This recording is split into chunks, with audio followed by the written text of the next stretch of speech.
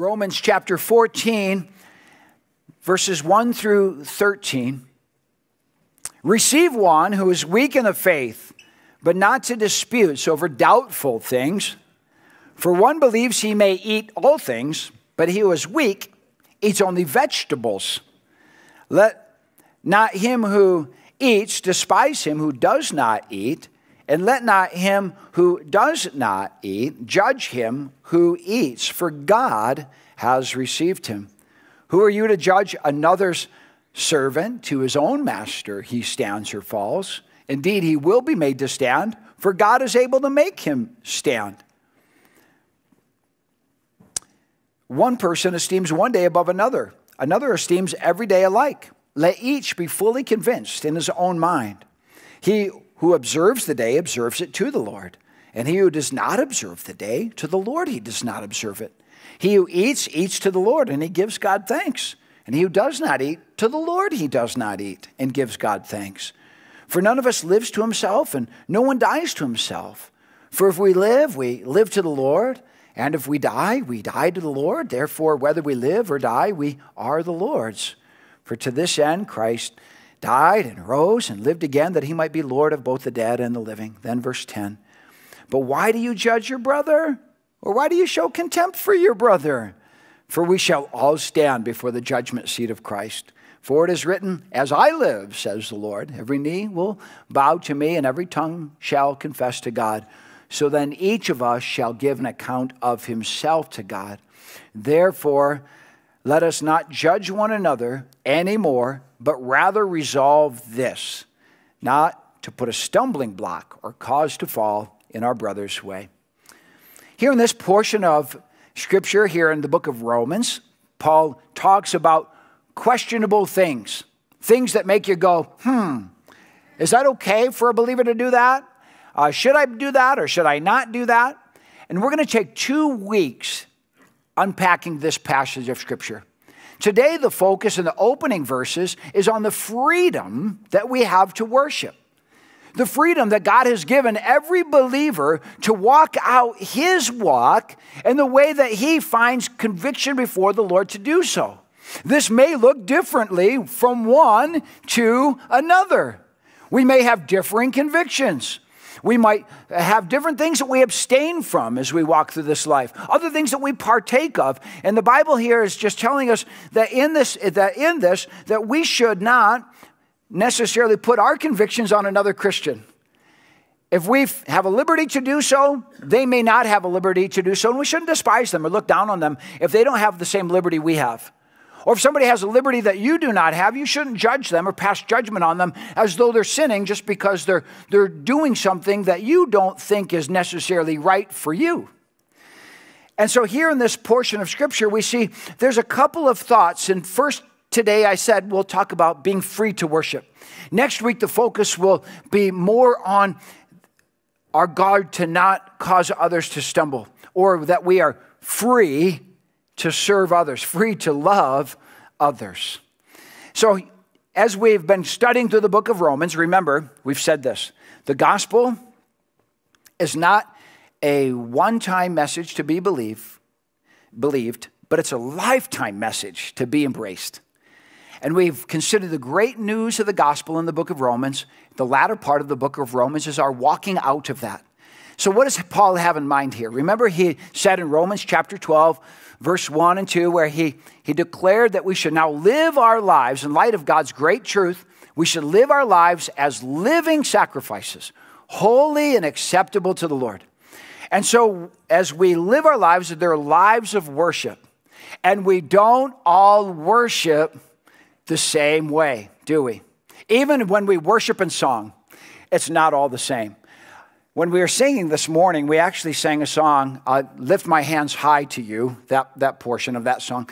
And I opened my eyes during that time to see how many people had their hands raised. It was about 50%, even though we were saying, having a song. So, and then on songs when we're not singing about having my hands lifted high, it's even less than that. But are you more spiritual or less spiritual to have your hands raised? Well, you know, as we'll see today, it's not neither one or the other. It's more a matter of the heart. But if you desire to be a little more demonstrative in worship, um, I can offer you some great help from the Christian theologian and comedian Tim Hawkins. Okay, so so he, you know he's been I mean so instrumental in the church this way. So maybe you're a little nervous. You want to start raising your hands in church, but you're just you're just not quite there yet. Well, he suggests we could. Here's he's he's named all the different worship motions, and you could start this way, just with the little elbow flap. Okay, gets the heart heart moving, and then from there, if you're so bold, you can go to carry the TV. Out from there, widescreen. Okay. And then, here, my fish was this big. My fish was that big. You're really getting into it. And then, hold my baby. Hold my baby. You can go from that to Mufasa and goalposts, okay? And then you can go from goalpost to heartburn, back to goalposts, you know, double heartburn, goalposts, okay? Then there's always, um, there's uh, what? There's, there's pointer finger, a hatchet, and uh, classroom. and then from classroom, like high five, giving God a high five there, right? And then a lot of ladies like wash the window. Okay, and then from there you can go to the, the big three, which is village people, uh, Rocky, and touchdown, right? Or touchdown. Okay. Yeah. Tim Hawkins, folks. Tim Hawkins. All right. the idea is we all don't worship the same way. There's freedom in your worship. You have freedom to live your life as a living sacrifice to the Lord. You have freedom to live that life as the Lord convicts you and leads you in liberties and, and, and abstaining alike. But you are free to worship because the Lord accepts you. Here's the big thought today the Lord accepts you on the basis of the gospel, not on the basis of your worship. There's freedom in our expression because He's told us He'll receive us on the basis of what He's done for us. Not what we've done for Him or how we're expressing our gratitude toward Him. And because of that, we shouldn't judge one another, nor should we look down on each other. And we shouldn't try to make the church one big cookie cutter, conformed group that worships the same way, abstains from the same things, and shares the same liberties. That anytime in any one local body, we should have people with varying persuasions and backgrounds and we live together worshiping the one Lord in the manner in which He's called us to. And so the big idea in these opening verses of Romans 14 are receive one another because the Lord has received you on the basis of the gospel. Verse, four, verse 1 of chapter 14 says, Receive one who is weak in the faith but not to disputes over doubtful things. You see Paul's big heart, can't you, at the start, in the first verse, verse, first word? Receive, that word means welcome or accept into the fold. Somebody who is a newer or immature believer. And as you welcome them in and you accept them, don't accept them so that you can immediately argue with them and tell them why they need to grow up in that area and they need to start doing this and stop doing that, but receive them and give them time to grow. What if they've come from a Catholic background and they still pray with the crucifix? Or what if they've come from a pretty rugged background and some of the clothing that they wear kind of still says that they, they're immature? we accept them in, but what if they have come from a legalistic background and they are so connected to this thing that they, they, they just can't bring their conscience to do things any differently for them to not do this thing that you have a liberty to do would mean that they would feel very bad about themselves and might lead them to sin in other ways. We'll talk about not causing our brother to stumble next week, but first let's just consider that we have liberty in the church. I think maybe very helpful for us would be to define what Paul says here in verse 1 as doubtful things. What does he mean, doubtful things? Well, just even in his own text, it's helpful as he goes on to talk about it. Verse 2, he helps us very much by understanding what he means by doubtful things because he talks about food. For one believes he may eat all things, but he who is weak eats only vegetables. Okay? And then he goes down to say um, in verse 6 about observing a day. So we're talking about external things, about food that, that we're eating, or when we worship, or how we worship, and, and those sorts of things. But we could maybe sum up this, this thought of doubtful things this way these are disagreements or differing opinions among Christians regarding areas of sanctification, holiness, worship, that the Bible does not clearly command nor forbid. So obviously, the Bible forbids lying, stealing, adultery. So we're not talking about like, well, do I have the liberty as a Christian to commit adultery? No, you don't have the liberty as a Christian to commit adultery. You've been commanded to be holy, but what does it mean to be holy? Does that mean you don't go to this show, but you can watch that one? This sitcom is okay, but that one's not. This food is okay, but this one isn't. And, and there's no line drawn in the church, right? And so these doubtful things, in the first century, there was a big question about meat. Meat that was sold in the meat market, because during that time, in Gentile cities, much of that meat was offered to idols when it was butchered. And so now this meat has been offered to idols, and now you could imagine a new Christian coming into the church in Paul's day who used to be an idolater and would eat this meat after it had been sacrificed to an idol. And now they're, they're a brand new Christian. Now they want to worship the Lord and they've turned their back on those old idols. And somebody says, Here's a piece of meat. And you say, Well, was it sacrificed to Zeus? Like, like, can I eat it or not? And Paul says mature believers would realize that false gods are false gods. They're not actually alive. So they're not in the meat. So you can eat the meat because it's just meat. I've been saved by the Lord, and my understanding of what Jesus did for me in the gospel is so robust and so mature now that I can eat meat. It doesn't matter where I eat it, I can leave it, take it, or leave it. But a new believer can have a real hang up on that. And they say, oh, if I eat that meat, then I might as well just sacrifice to the idols itself. And then Paul goes on to talk about days. And certainly in the first century, there was also a big question about do the new Gentile Christians, should they eat according to the Old Testament dietary laws and avoid pork and bacon and shrimp? Or should they, or can they, or, and should they worship on the Sabbath and keep all of the Jewish feasts? Or are we free to worship on Sunday now, the day that the Lord rose? And, and all of these questions. And sometimes new believers, especially from a Jewish background, had a hard time giving up some of those old traditions and religions. And so Paul says these are these are doubtful things. But what are how do they play out in the church today? What are some of the doubtful things? Well, some of these are archaic, I know. Like maybe in the 1960s or 50s or 60s, the church would have hangups about like, can you play cards? Many have been on a missions trip with, with Calvary Bozeman? We play cards. It's called Ding Along. You know, it's the church Calvary game, right? Uh, or can you go to the show even, even go there? Or can a Christian dance? Or can a Christian wear jewelry? Or could a Christian woman wear makeup? And then J. Vernon McGee said, well, if the barn needs painting, paint it. J. Vernon said that. Anyway, so, uh, but what about there was a time the Christian church had hangups about tattoos. And I know some still might, but that ship sailed, and I think more Christians have tattoos than don't. And uh, your favorite Bible verse plastered somewhere. But these are things that you could still have a deep conviction that, no, I don't want to do that to my body. And somebody has a deep conviction that they, they do. And we can still differ on some of these things. What about drinking alcohol? The scripture forbids drunkenness.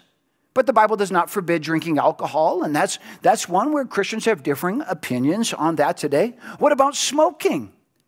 Can a Christian smoke? And that's, that's one I think that generally we say, no, they shouldn't. But then we use the Bible verse because the body's the temple of the Holy Spirit. And, and, so we'd realize that we, we use Scripture to bolster our convictions. We search it out. Well, these aren't just careless or haphazard things.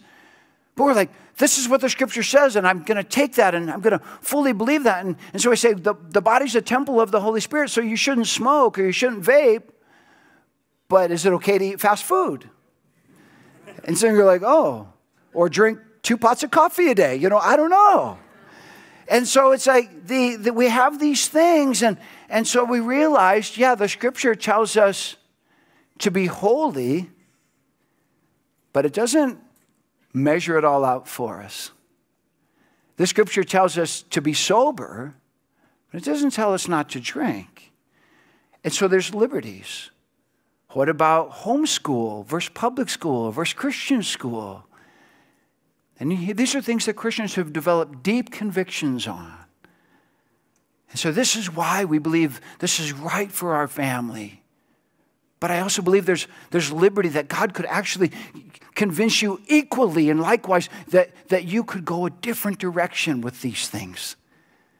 And you have freedom to worship. And so, so what is allowed and what is not allowed, and what should we do and what should we not do? Well, Micah 6 8 is very clear. He has shown you, O oh man, what is good and what the Lord requires of you. No NC 17. No, and no, no, there's not a list that comes here.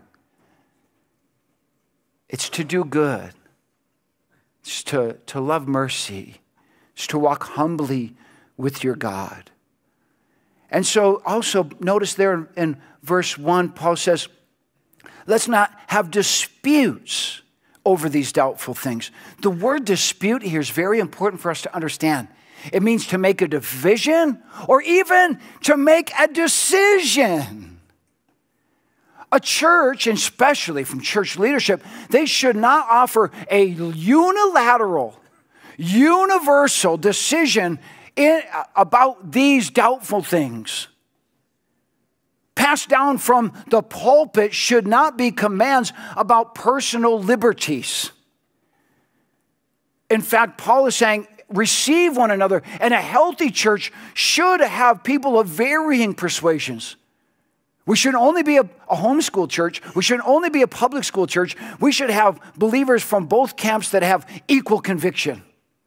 And I'm not saying willy nilly or doesn't really matter. I'm not saying we even say, it doesn't really matter what you do. I'm saying, no, this is my conviction. Like, this is my conviction over my dead body. Like, this is how I believe the Lord's ordered and structured my life. But you can also have equal conviction in another area, and we can both be fully convinced in our own mind. And, and that's because God receives us. So don't dispute, don't divide, and don't decide. When I was a child, the church I attended to tended toward legalism. And when legalism is passed down from top down, it can really be a problem.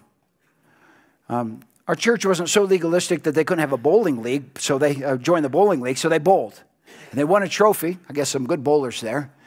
And then the church trophy, they, what's the, because of the second command. What's the second command, by the way? Go ahead, just shout it out. Yeah, I was confident. Okay. You shall have no graven images, right? So, because of the second image, second commandment, they said you can't have a graven image. So the bowling guy had to be taken off of the top of that trophy. And then they universally and unilaterally said to the whole church if you have any trophy at your house, it's a graven image. You can keep the wood portion of it, but the guy has to be removed, the graven image. And I was in fifth grade and I had a, a football trophy and uh, participation trophy. I didn't do anything special. Uh, and I remember not being able to get to bed that night because I had a graven image in the room. And so, and so, and so at that point, it actually became sin for me because I had been taught that it was wrong. And so, in order to have a clean conscience, I just was wrestling with the Lord. It's like, I don't want to do it. I don't want to do it. But he's like, well, is that more important to, to you than, than, than me? And in order to honor the Lord, I remember getting up and just taking the guy off, snapping it off. And for years after, my friends would come by, like, what happened to your trophy?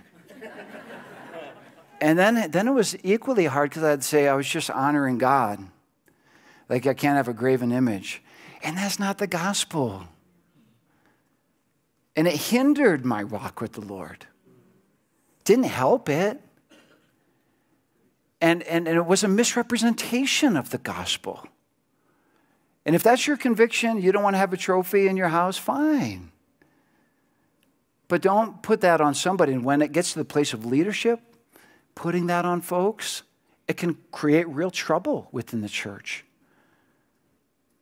But Paul's point here isn't uh, on leadership. And when Paul did talk about leaders doing these sorts of things, he got hot under the collar and he'd say, Some tell you to observe days and weeks and seasons and years, and I am afraid for you.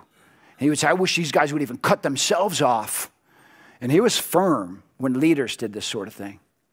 But what he said, when a new believer comes in and has a hang up and, and thinks, oh, I can't do this anymore, that you're to accept them, receive them. Don't despise them and look down on them. And, and uh, that's what Paul says there in verse 3. He says, Let not him who eats, or those that have the liberty, despise him who does not eat, and let not him who does not eat judge him who eats, for the reason being, for God has received him. Do you notice the actions are different, but also are, are the heart responses? So, so, so the person who says, I, I can't do this liberty, like, um, no, uh, maybe no iPhone for me. You know, like, it's got me into trouble before, and flip phone only. And that's their conviction. And, and, they, and to have an iPhone is just sin for them, even if it's used properly. And you're not to, and, and then they look at you and they say, How dare you have an iPhone? And you can sometimes feel that. You're like, You're not to despise them, the scripture says. If you have a believer that's a weaker believer, that has done that that connects something externally with just sin although it in itself is not sin and you feel that judgment from them you're not to despise them look down on them like just grow up already. Be mature.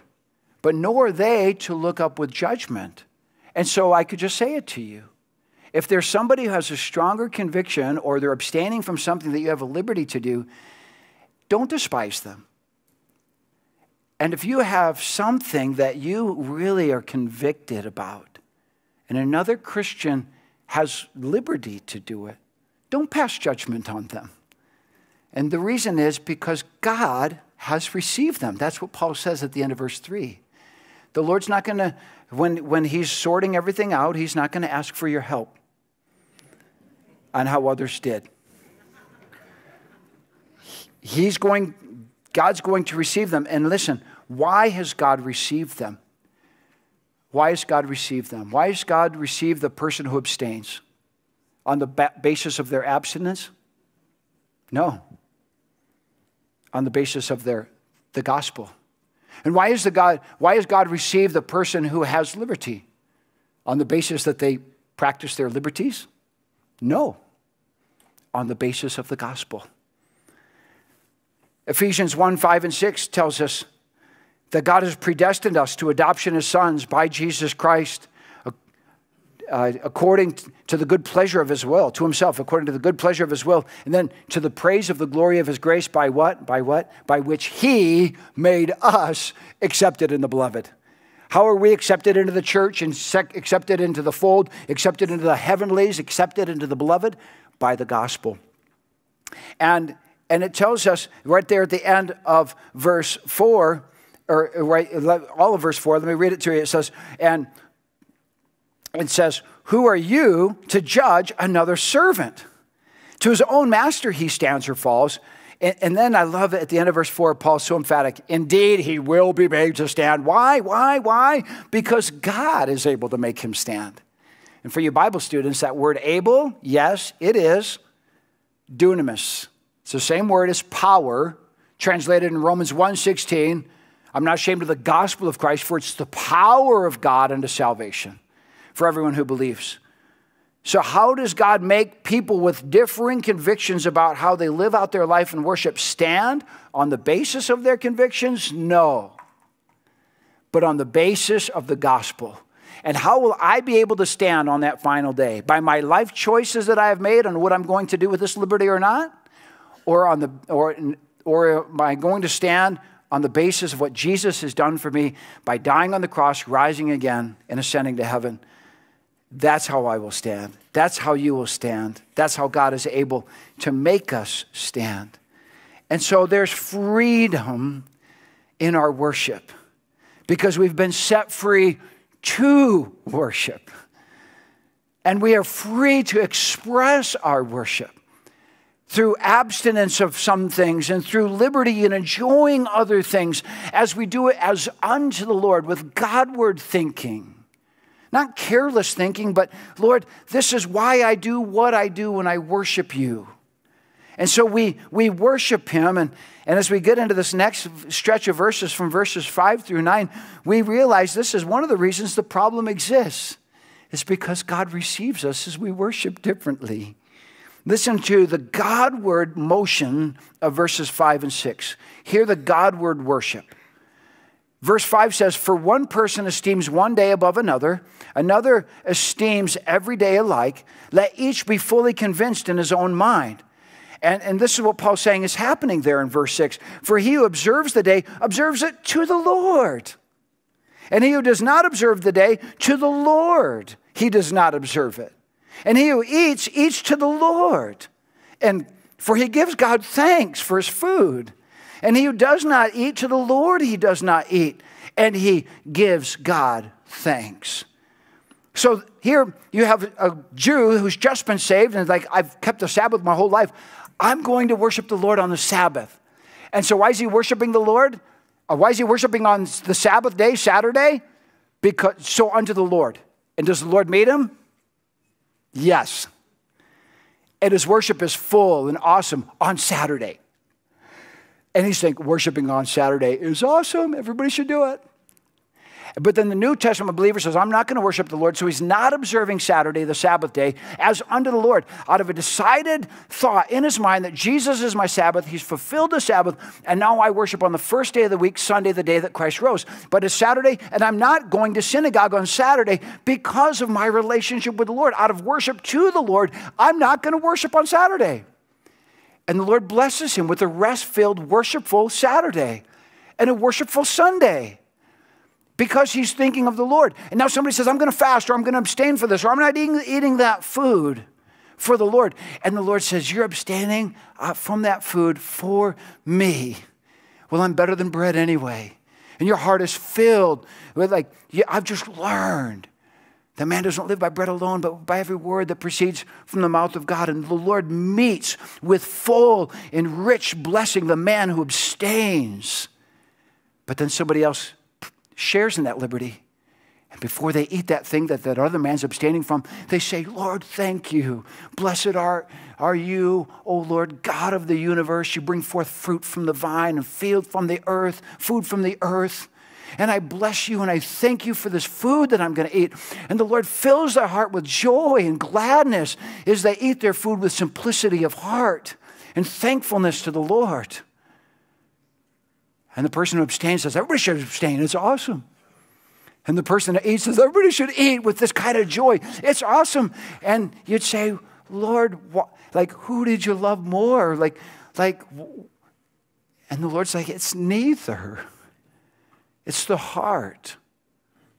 It's like dad opening gifts on Father's Day. And the one child brings, had bought him some chocolate, favorite child. Oh, thank you. This is my favorite chocolate. How did you, you knew that about me? I'm so thankful. And you used some of your lawn mowing money to buy it. Thank you, son. I love you for the chocolate. Thank you for it. But then the daughter brings a homemade card. Oh, sweetie, this is so wonderful. You spent all the detail, that time you took. And the kids can kind of look at each other. Like, Dad, would you rather have had me buy something than make the card? Or or would you rather have had me make something than just buy something? And, and the, that dad can't answer that question. For in gift giving, we say what? It's the thought that counts. And like, Lord, did you love his hand high, hands held high worship more than my worship with my hands by my side?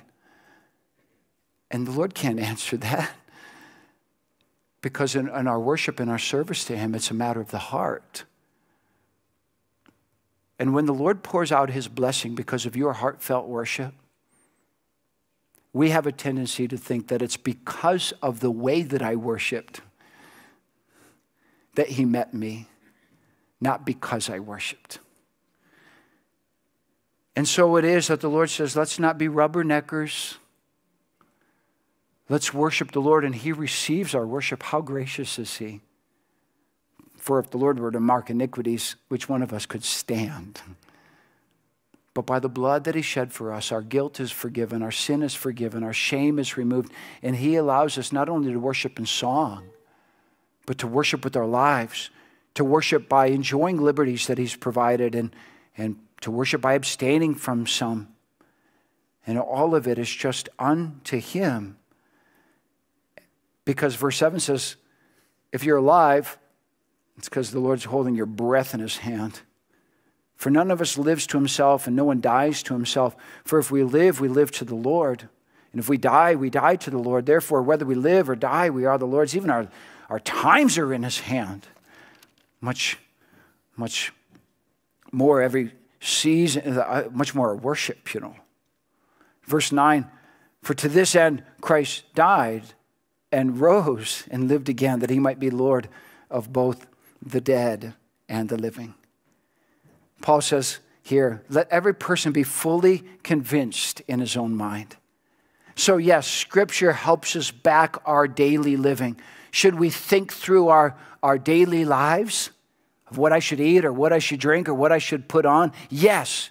Whatever you do, do all to the glory of God. Have scripture of why you do what you do, why you homeschool your kids, or why you send them to the public school, or, or why you do what you do, why you vacation where you vacation, and you have your life discharged in His presence. And you can be fully convinced that this thing that you're doing is for Him.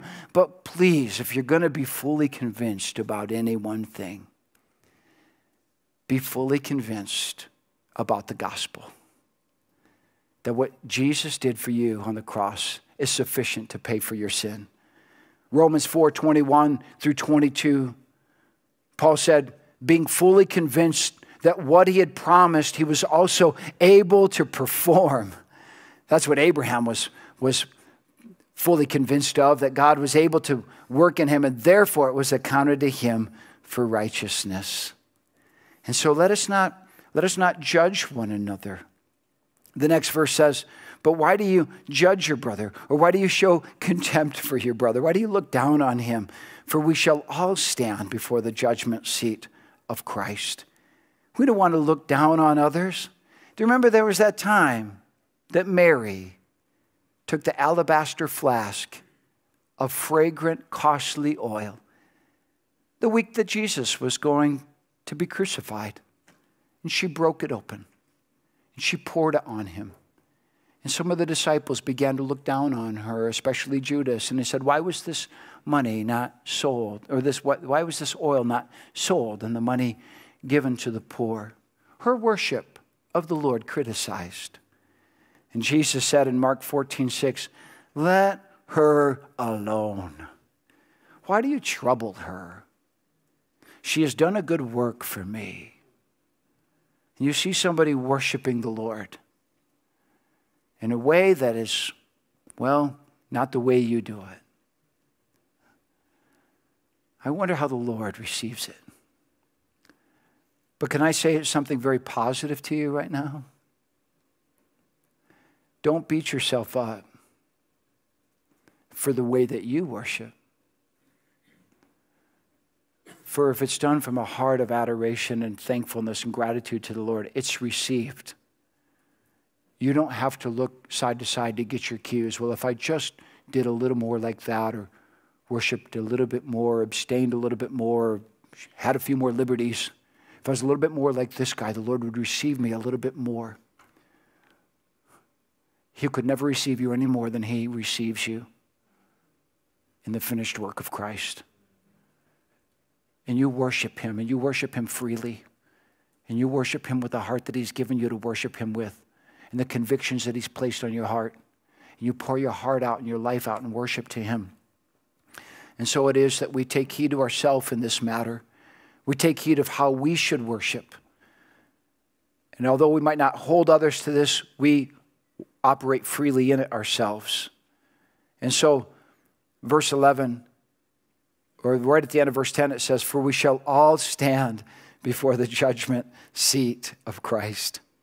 Our son Stephen was a little comical at times. He was five and a half before Isaac and Anna were born, so he was an only child for five and a half years. And he never forgot it. I think one time he was like 17. The kids were away, Isaac and Anna were away, and it's just Stephen and us. And he said, he's like, oh, wasn't it great just to be the three of us again? he never forgot it.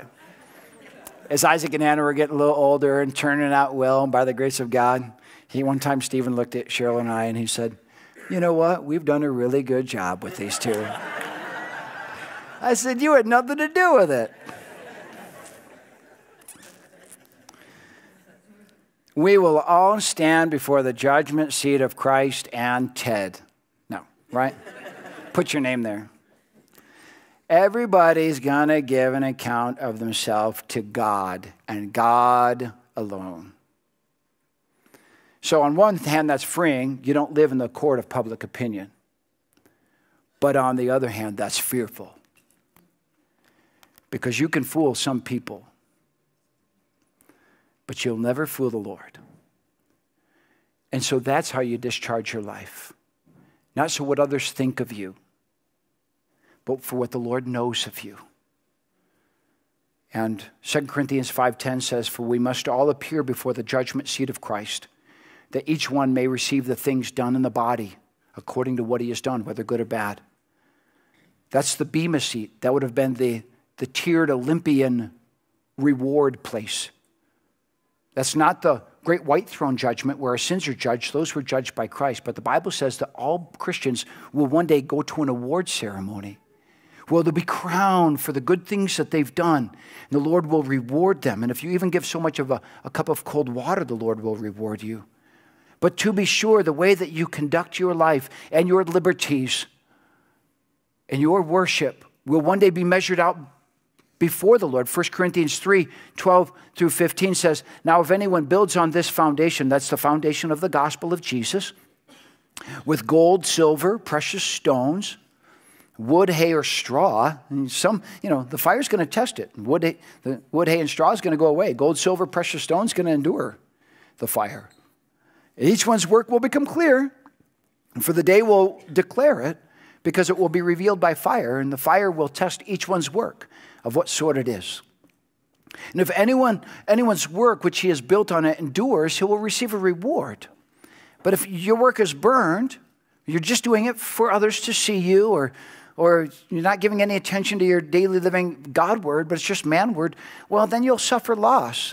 You won't lose your salvation. He himself will be saved, but yet as though through fire, just it's all going to be tested. And so that's where we need freedom in our worship, freedom to really worship the Lord with the consciences that He's given us in the way that He's called us. It's not a game. We're not keeping up with the Joneses. We're not impressing anybody. We're just serving the Lord. And we'll be rewarded by the Lord. Because Hebrews 6:10 says, For God is not unjust to forget your work and your labor of love which you've shown toward his name and that you've ministered to the saints and do minister, still doing it. Keep doing it. So Paul then said, As I live, says the Lord, in verse 11, for it is written, As I live, says the Lord, every knee will bow to me and every tongue shall confess to God. In verse 12, so then each of us shall give an account of himself to the Lord. That's where it's going to end, folks. One day we're going to give an account of ourselves to him. And so then verse 13 is a segue into next week's portion. In fact, a lot of Bible translations and some of the old manuscripts have this verse 13 as a beginning of the paragraph that then comes after. And so we'll look at it in detail next week, verse 13. We'll pick right back up. But let me just read it one more time. Is it in the New King James that completes this section? Therefore, and this kind of the grand concluding thought, let us not judge one another. And that's, that's a conclusion from from today's passage. Let us not judge one another anymore, but rather resolve this. Now, this looks forward to next week. Not to put a stumbling block or cause to fall in our brother's way. So, if the immature believer abstains because of a hangup, the mature believer freely partakes because of his maturity in the gospel. The maturer, can I say that? believer abstains often for the sake of the weaker one. Okay? And we'll talk about that today, free to worship. Next week, free to serve or free to love others by letting your liberty be judged by their conscience, that your freedom ends where their nose begins.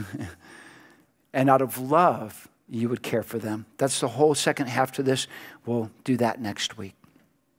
Father, thank you for your word this morning. I pray for any that have never received you as Savior and Lord.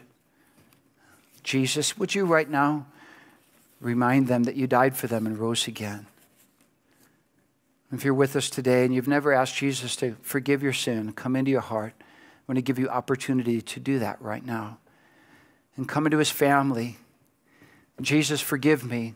I believe you died for me. You love me. You rose again to give me life, and I want to live my life for you now. And if you pray that and surrender your heart to Him in humility, He'll make you brand new.